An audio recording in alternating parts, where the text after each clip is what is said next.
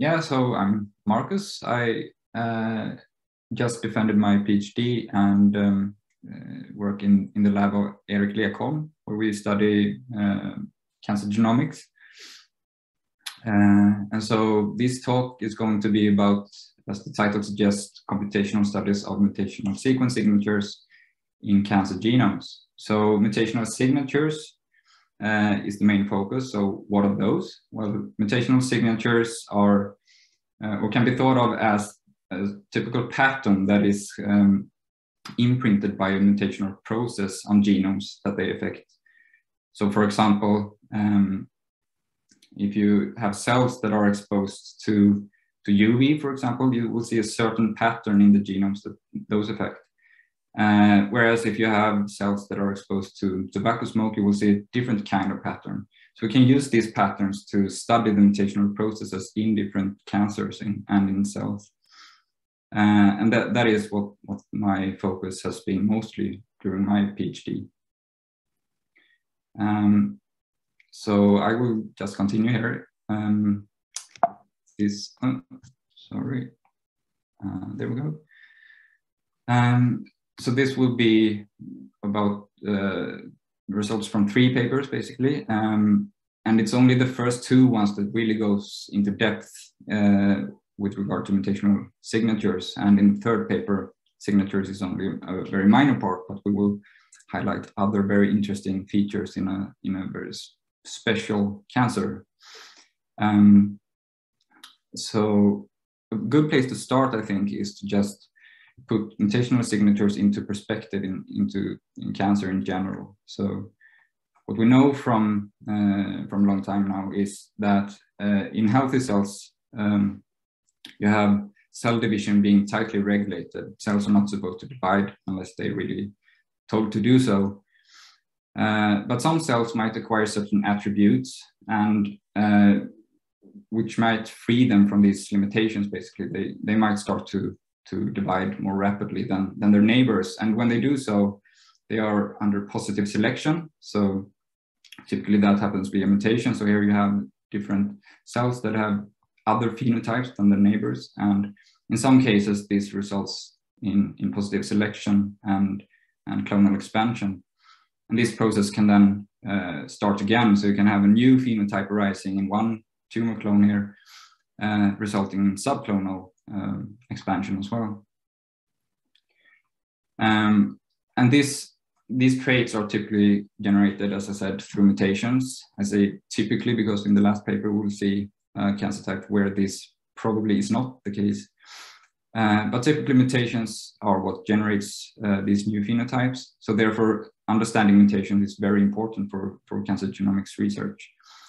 Uh, and there's two classes of, of uh, of genes that can be affected uh, via mutation that results in, in this uh, positive selection. We have oncogenes, and these are genes that are uh, have rather normal functions in terms of cell growth and proliferation that might not be very active in normal cells, but, but can be upregulated in, in tumors.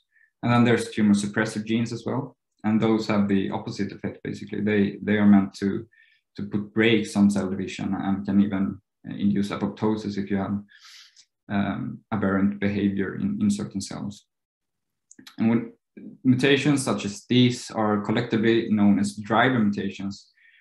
Uh, so in a given cancer, you have typically loads of mutations, especially if, if it's a cancer type that is exposed to a very um, potent mutagen like UV, for example. You might have hundreds of thousands of mutations, but only a handful of those will actually have um, a positive or, or an effect of, of, on selection and be um, driving the cancer.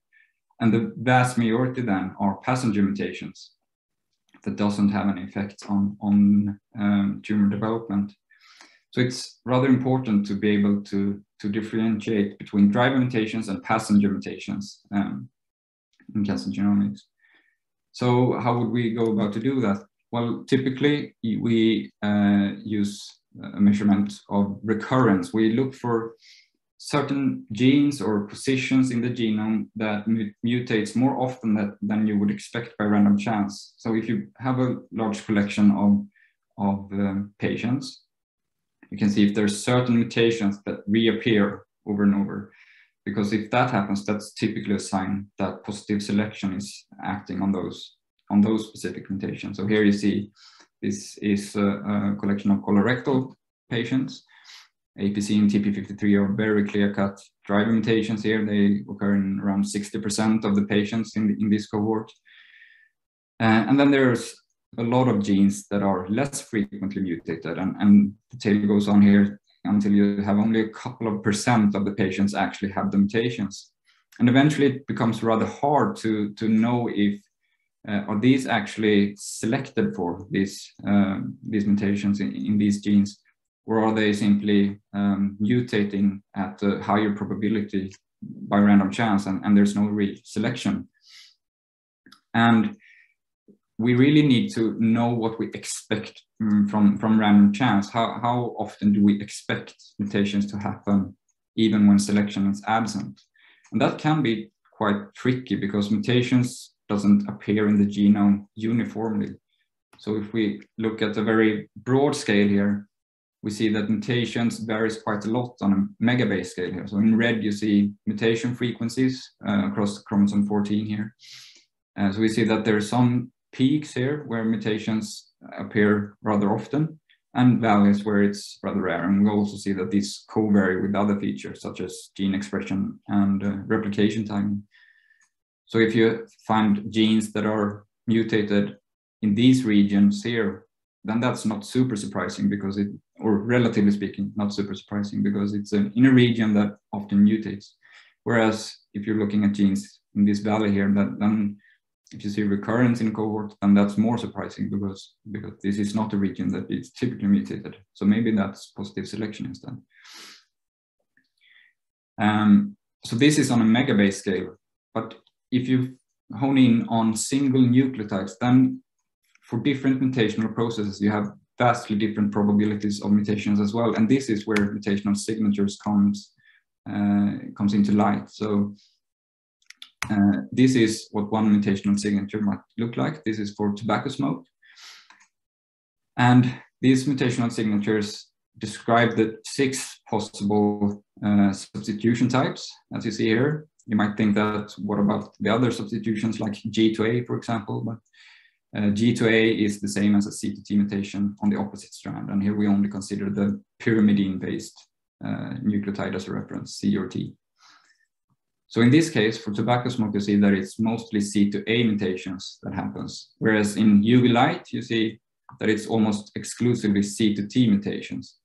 And not only do we see what kind of mutation that is most frequent, we also see in what trinucleotide context do they appear. So uh, if the flanking nucleotides here are T and T for the cytosine here, then that's more likely than TCG, for example, here. Uh, and this is also very useful because you can have different uh, mutational processes that both generate a certain mutation, but they happen at different trinucleotide contexts. Um, so uh, for many years now, a lot of mutational signatures have been identified. This was, I think, 2013. We knew about 30 mutational signatures. Many of these are uh, not known what, what the underlying mutational process is, but some of them are. And now there's even more mutational signatures that have been identified, over 50 now, I think. Um, but to show some examples here, here we have uh, signature one, which is cytosine deamination. Um, and as you can see, this is also C to T dominant mutational signature. But because we have the trinucleotide context as well, we can clearly see that it's different from the UV, which you saw before, that it has a completely different trinucleotide profile. Um, and uh, aging, this is just uh, a process that happens in every cell. You accumulate mutations randomly, and this is very uniform. You see more or less every kind of mutation and in most trinucleotide contexts as well. And both of these are processes that you expect to see to some extent in basically every cancer type because it's it's a baseline mutation um, process, so to speak. Uh, so we call these clock-like mutational signatures because they they accumulate uh, slowly over time in, in every cell basically. And then there's other mutational processes. This is from a protein known as APOBEC, and that can induce uh, mutations at single-stranded uh, DNA and RNA, and is very specific in what kind of trinucleotide context it is, and generates mostly C2G or C2T mutations. And many of the others are, as I said, uh, unknown. Some are uh, related to uh, repair, DNA repair, for example. Uh, but the one that we are most interested in, especially for, for my first paper here, is uh, the signature 7, or the mutational signature of UV. Uh, and as we saw, it, generates almost exclusively C2T mutations. And we can also see that the, the trinucleotide contexts that are affected are in dipyrimidine contexts, so either CC or TC, where the last nucleotide is not as important. Uh, and it's not a surprise why, uh, why we see this pattern, because we know that UV generates uh, CPDs, or cyclopentane pyrimidine dimers. This is a, uh, a natural conformation between between the pyrimidines after it has been um, subjected to UV light. Uh, and if the second C, uh, the second nucleotide is a cytosine in this CPD formation that would form between the pyrimidines, then this deaminates very fast and, and the C would then um, become a T after replication and so on. So it, it's kind, kind of well understood why, why we see this pattern for UV.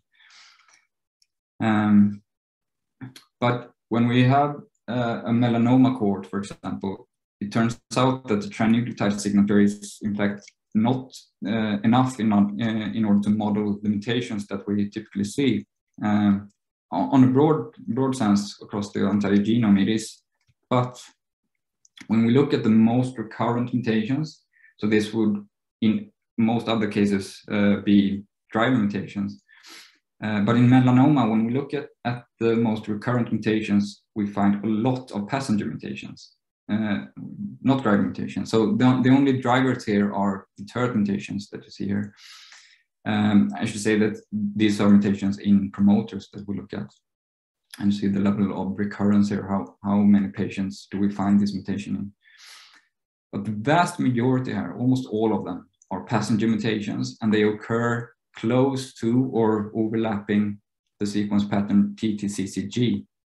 And we know from studying this effect uh, quite extensively in, in our lab that TTCCG is a UV hotspot. It's a, uh, it generates um, mutations very, very easily close to this um, uh, sequence pattern. And here I cut off the list. Uh, the list goes actually on. So there's many positions where, where you see high recurrence of mutations in TTCCG um, sites. And we also know why this is the case now through, through studies in, in our lab and also other labs, uh, that this TTCCG is a binding motif for ETS transcription factors. So when these motif bind, you have a, an elevated uh, CPD uh, formation rate at these sites and also somewhat at, at the middle positions here as well as uh, somewhat reduced uh, DNA repair. So all in all, you have a vast increase in mutations at these sites because you have a protein that binds, and when that, that is bound, you have um, uh, a lot more frequent CPD formations at those sites. So obviously the, the trinucleotide signature cannot really capture this effect. We, we cannot model how often we find mutations here because the trinucleotide is not what define um, the recurrence at all.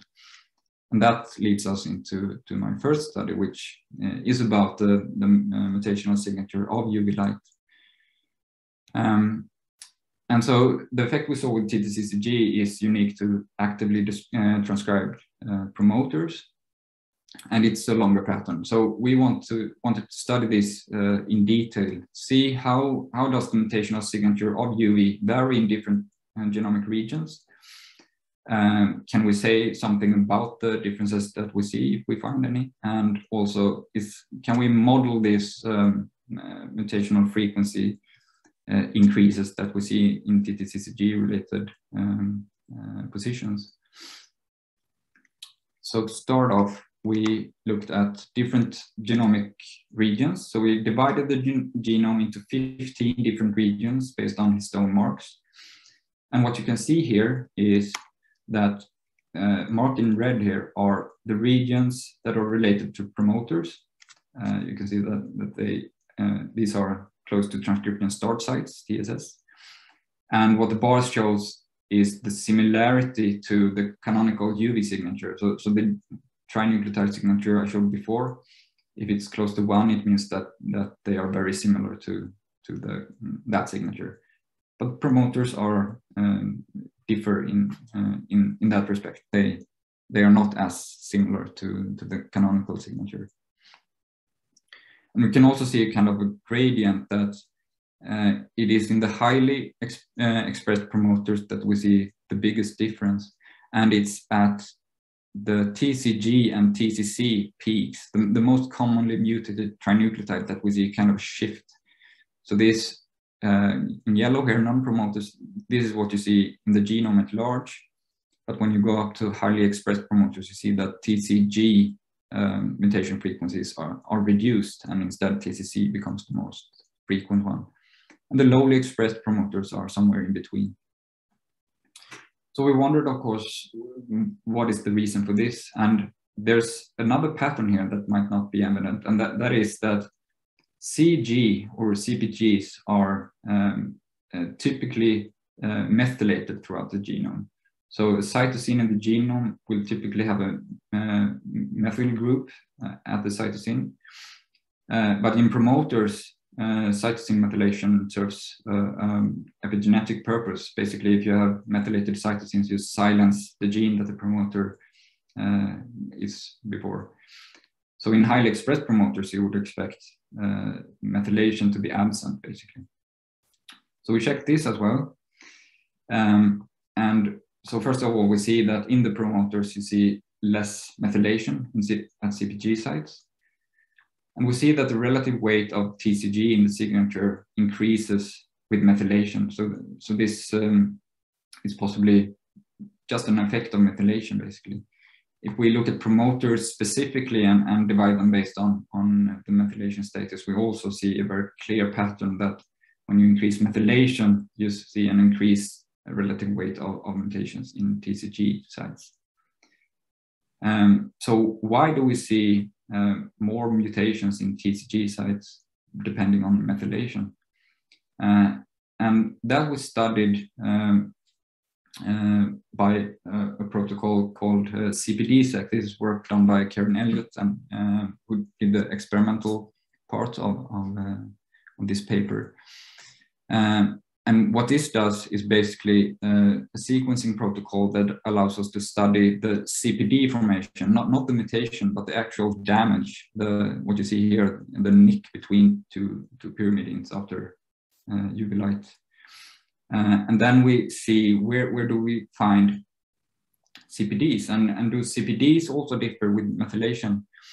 Uh, and in fact, it does. So if uh, so, in blue here you see um, UVB irradiated cells, and in red are UVC. So UVC, the reason we have this is uh, because we have used UVC a lot before in in our uh, lab, it's uh, apparently easier to work with in the lab.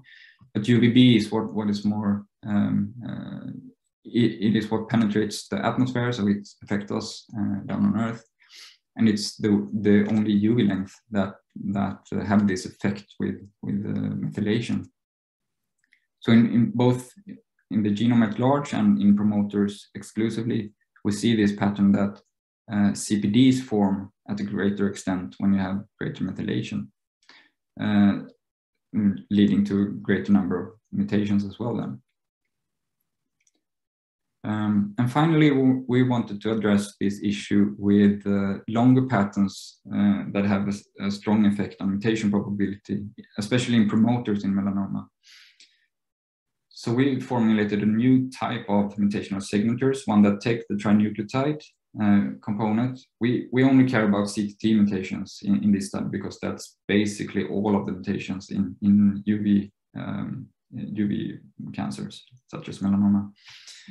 So, so in this model, we, we take the trinucleotide component and then we add contextual motifs, uh, which we model as increasing or decreasing mutation probability. So they, they get kind of a modulating um, effect on, on mutation probability.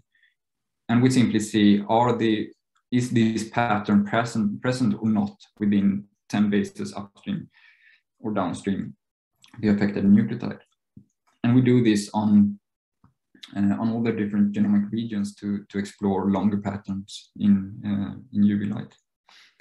And what we find is, well, as expected, TTCCG, this is absolutely the strongest effect we find, and we find it only in promoters that are highly expressed. This E1 region are, are the highly expressed promoters.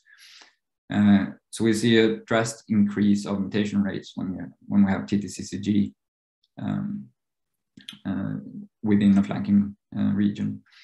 And we also find some other patterns like TTTCG and TTCGT and a very similar pattern here and some other patterns also. Um, and some of these have at least been mentioned before in the literature uh, in, in other studies as well. Um, and then we apply this model to the recurrent promoter mutations that I showed you a list of before. Um, so these, here we see the expected mutation probability by random chance uh, when you don't have selection present.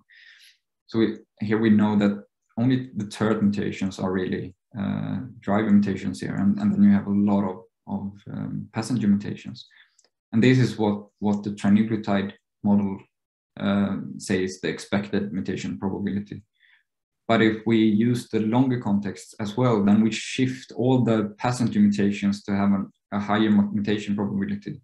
See also that, that it's a log scale here on the x-axis. Uh, so all, all, the passenger mutations get a higher mutation probability simply because we know about the, the TTCCG effect here. Uh, so this suggests that we uh, can model mutation um, mutational signatures through trinucleotides, but also with longer, uh, longer context. And in some cases that might be important, such as the recurrent mutations in melanoma promoters. Uh, so to summarize this study, we showed that, that the signature of UV light is actually not static. It varies depending on what regions you're in, and especially promoters compared to, to the rest of the genome. And we see that the differences we see is um, mostly due to CPD formation and that CPD formation forms uh, differently depending on if cytosines are methylated or not. Um, and we can formulate a new type of mutation model or mutational signature models uh, that, that includes both trinucleotides and a longer sequence context. Um, so uh, since uh, at least a couple of years back, there has been some emergence of, of other reports of, of longer patterns, not nothing as drastic as TTCCG uh, in melanoma, but, but at least uh, longer context has started at least appear in, in studies. But there's not really uh, any packages or tools for doing that type of analysis in general. So that, that is what, what my next uh, paper is about. Uh, so here we create a, a new toolkit, uh, an R package that can be used for, for um, finding these type of patterns uh, and doing this kind of analysis that I just showed you. Um, and uh, then we apply this to, to a number of different uh, cancers in, in an open cancer database, basically. Um, so something about the, the pipeline when, when using this uh, tool. And some, some of these is basically identical to, to before, at least the first two steps. So in order to uh, have some kind of idea of how frequent do we find longer patterns at all and, and trinucleotides and how do they co-occur and so on and so forth, we do sampling of, of positions. So we have both mutated sites and non-mutated sites uh, that we sample from the genome. And so we have a data set that, that becomes, basically it's a classification problem then is, is a certain site mutated and what kind of mutation is it? Mutation is it? Um, but when we do an um, extended model like this, it's very important to know what are the patterns that we are going to look for at all. Um, so if we have a size five here, pentamers that we look for, then, then there's more than a thousand possible patterns to look for. And if you go to uh, k-mer size of six, for example, then it's a factor of four, so 4,000. And obviously most of these patterns will not have any impact on mutation probabilities. We have to uh, do something to, to uh, select a candidate set of, of uh, patterns to look for. And in the first run, we simply do a very simple test to see if there's some kind of correlation between uh, a certain pattern being present and mutation uh, being present. And from this, we can cut off most of the most of the patterns. Uh, but you still have a lot of uh, uh, fall, not false positives, but a lot, a lot of patterns that aren't really inform, informative. So in a second step, we also take what, what we find from here, Uh, and we uh, estimate the importance from each pattern. And th this can be done through uh, a random forest fit. So after you fit a random forest, you can ask the model basically, hey, which features did you find useful for classifying here? Uh, in this case, we classify position as non-mutated or mutated T2G or T2A or C2T and so, so on and so forth. Which patterns uh, was useful in this model at all? And then you can see this in a plot and you can select the ones that seem to be most informative uh, to follow up on that. Uh, and then after selecting uh, certain patterns, can estimate the effect of those together with the trinucleotide. And we see in red here that certain patterns would increase mutation probability and other patterns would reduce mutation probability. And we also take some steps to, to avoid overfitting in this case. So the first step after creating the, the package was to test it on uh, sim oh sorry I should also mention that there's a step where we can see uh, what position is the most affected uh, for, for a given pattern. So the first thing we did was to simulate data to test the package. Uh, and here we just simulate 100,000 mutations in a collection of 1 million positions totally. Um, and we just randomly induced the, the mutations in the in one set. And then for the positive set, we copied the, uh, or made a completely identical data set, but where some some uh, patterns had increased number of mutations. So adding 50 mutations that are close to a certain pattern. We just wanted to see, can we, after in, um, um, inducing these mutations, so to speak, can we find them at all? And we can through this uh, importance scoring. And when we select some of these patterns to fit the mutation model, um, do we find reasonable coefficients? And we do. And all the other patterns are reduced to zero, uh, meaning that we, we don't really overfit and we find what we expect to find. Uh, so following this, we applied this on 23 different cancer types to see are there any patterns that are usually high, more highly mutated than, than what you would expect uh, based on a trinucleotide signature. Oh, sorry. Um, and what we find are uh, quite a lot of different patterns. I won't go through this, but uh, I can just mention that that most of the patterns are rather simple patterns. You have mono repeats, for example, that seem to be very frequent. Uh, the axis here shows uh, how how often you find this pattern having a non-zero effect. Um, so then we want to see, are there any general patterns that we find? And we do find some patterns that seem to affect basically every cancer. Uh, and if we start with this TTTCG, which I mentioned earlier, this was something we found in, in melanoma. Uh, we see that this effect seems to be present in almost every cancer type here. There's just a few that doesn't have um, this effect. And when we look at the position, the position specific effects, we see that it's actually the, the middle C here, where you're seeing increased mutation rates. Um, so this was a bit surprising that it's so common.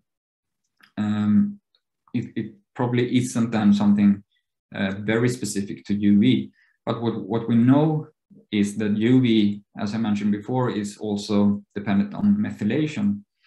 And we know that cytosine methylation happens in, in every cancer. So, so one can speculate that somehow this maybe has something to do with methylation because it's in a CPG context. Uh, and that, that would explain at least uh, why we can see it in every cancer. And it would also explain to some extent why we see it in melanoma, even if it's not spontaneous deamination, since methylation would also affect CPD formation. Um, and then we find some other patterns that also seem to have the same type of effect uh, across most cancer types, and I will highlight a few of these.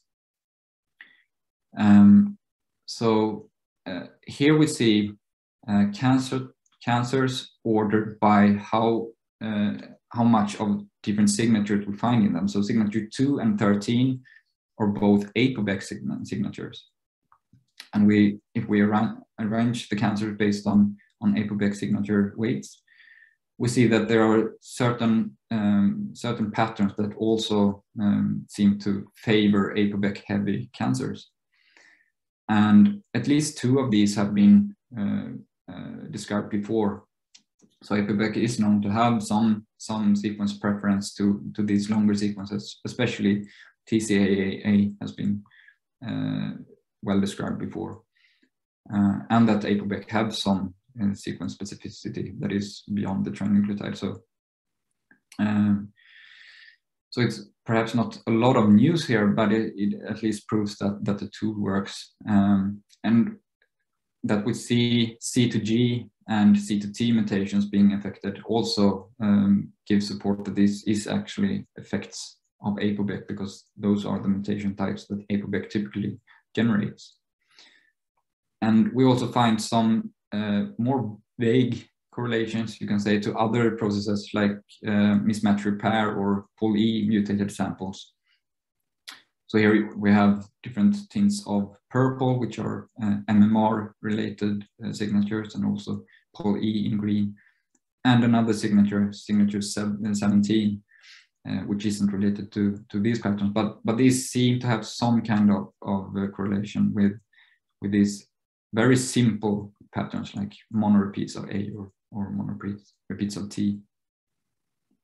And this is, at least for MMR and POL-E, also um, uh, described before, so uh, not really news in that sense. Um, and we can also check the uh, position specificity for, for these patterns. We see that this uh, C here and C here are what's uh, affected in, in ApoBec. So you see an increased number of C2G mutations than you would expect based on a trinucleotide model. In MMR, you see uh, mutations in one of the two first thymines, uh, either T2A or T2G.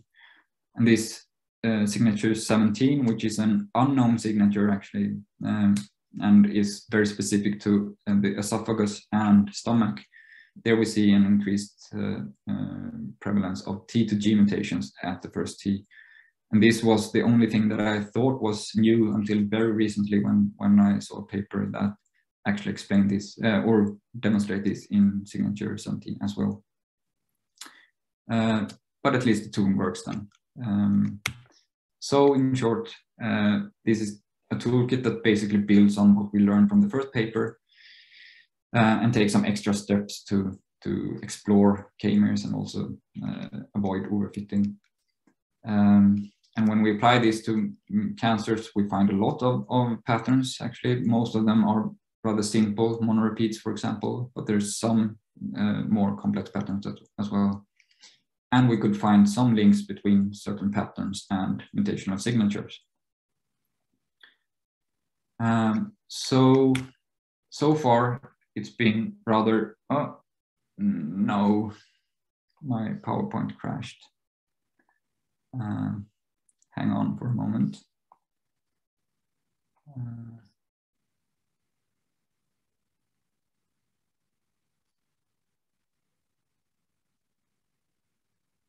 at least it was just between between projects. Uh, let me see.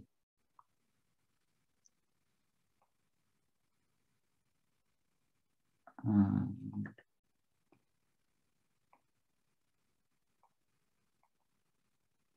all right, can you see it? Yes. Yes, okay, sorry for that. Um, so up until now, we've talked about mutational signatures and very kind of an, a niche thing. Uh, in this last study, we will not talk a lot about signatures and, and hopefully you will find this very interested, interesting, at least I did when, when working this project. So this is uh, about a mutation or, or about a, cancer type known as small intestine neuroendocrine tumors or SINet for short. It's a type of cancer that forms in the small intestine. And it's very pecu peculiar because uh, for one, it's multifocal. So uh, here you see two patients or, or the, the small intestine cut out from two patients, patient one and two. Uh, and what you see here is that there are multiple tumors in this rather short segment, the 30 centimeters or so. In blue are primary tumors, and, and then we have metastasis also in yellow uh, and uh, green yellowish. Um, so it has this uh, multifocal phenotype, and in patient two here you actually see a, a lot of a lot of primary tumors in this region everything that is marked with a letter are the samples we have actually sequenced. Um, and so in this study, we, we first start, uh, started with the patient one, as you saw there, but eventually we ended up uh, sequencing additional patients until we had 11 patients actually. And uh, what is interesting in this study is that we included a lot of different tumors from the same patient because we wanted to study how they relate to each other within a single within a single patient, and that was something that has, hadn't really been done before. So in total, we had six, over 60 tumors that we performed whole, whole genome sequencing on. Um, and so one peculiar peculiar thing is that they're multifocal. Another peculiar thing is the, the mutational landscape in these tumors. So if we start with the mutation burden in these tumors, we see that it's fairly low.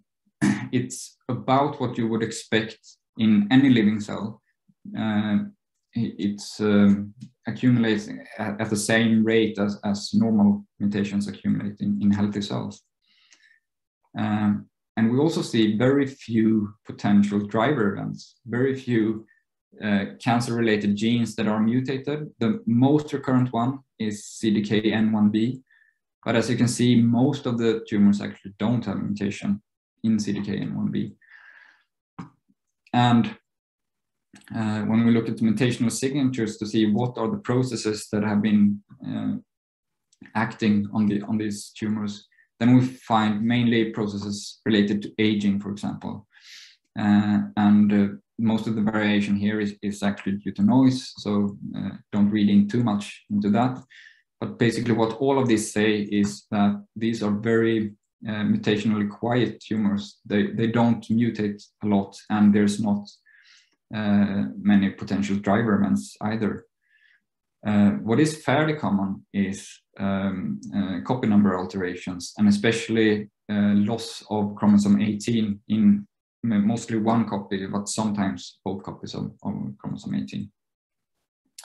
Uh, so this happens in more than 65% of the samples, and you also see some other um, some other uh, amplifications and deletions in these cancer types. So, so this is more common than than uh, other uh, mutation types. Um, but what is very peculiar about this cancer is how they relate to each other. If we uh, look at the different primary tumors and see uh, do they share any mutations, which, which, would mean do they share a common origin? Uh, we find that they don't share any mutations, basically. There's on the diagonal here, you see the mutation burden for each, each uh, tumor. And in, here in the pairwise, you see the, the, the overlapping mutations. So basically all of these primary tumors are completely independent from each other. So in this small region, like 30 centimeters or so, we have multiple tumors forming completely independent of each other. To see that, that the, the metastases that we know are metastases, those can be traced back to, to individual tumors. So in this case, the primary tumor C has uh, metastasized to all the other primary tumor, uh, all, all, the other metastases. Um, so this was, of course, very, very interesting when we found it, and that's why we decided to go uh, go forth and sequence another patient. Oh, sorry for that. Um, so the patient two that, that you saw previously had a lot of primary tumors, and the the same patterns uh, pattern can be observed there. Basically, there's virtually no overlapping mutation. So these are also completely independent events. Whereas the single uh, metastasis L here, that we easily can trace back to to its um, um, to its primary tumor. Um, and what is also very interesting is that in some cases, different primary tumors have initiated different metastases. So in, in this case, you see uh, primary tumor, tumor A in patient six here uh, uh, have seeded uh, one metastasis and another tumor, tumor B, have seeded uh, metastasis D here. And this actually occurred more than once. We found two other patients where this happened, where we had different primary tumors that caused different metastases. Uh, and in this case, we also find uh, a primary tumor that caused two different metastases, but from, from one, one primary. And this is also rather important for, for this cancer type because it means that, that it, it metastasizes rather easily and, and it's important that, that the patient get actually the, the whole area um, removed so you, so you don't accidentally leave any primary tumors that might otherwise uh, metastasize. Um, so to summarize, there's very few mutations that uh, in SINet. There's um, the conventional models with mutation uh, and mutational processes leading to new, new phenotypes doesn't really seem to apply in the same sense here, at least not for, for single nucleotide variants. But there are quite a bit of chromosome 18 loss, which might have some, um, some driving capacity. Uh, very interestingly, the, the, uh, the tumors evolve independently from each other. They don't share a somatic ancestor. And metastases seem to form rather easily, and we can sometimes find uh, metastases arising from different primary tumors in this cancer type.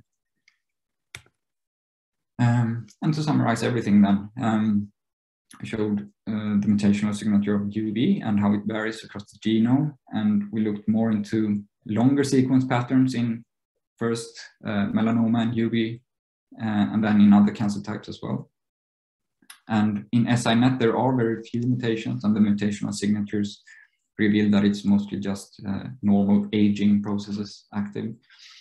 Uh, and they form independently and metastasize easily. Uh, and that's all I had to say. And thank you very much for listening. And I want to thank everyone in the lab.